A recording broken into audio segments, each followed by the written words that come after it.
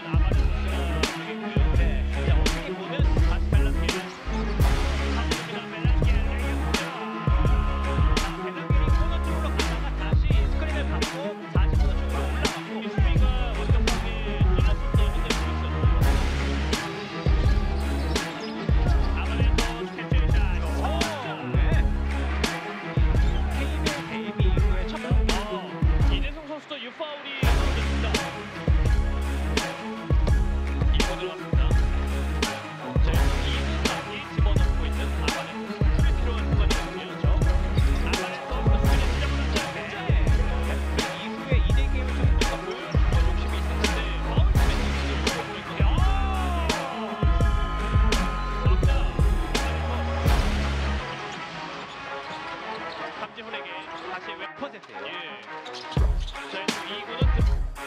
Upside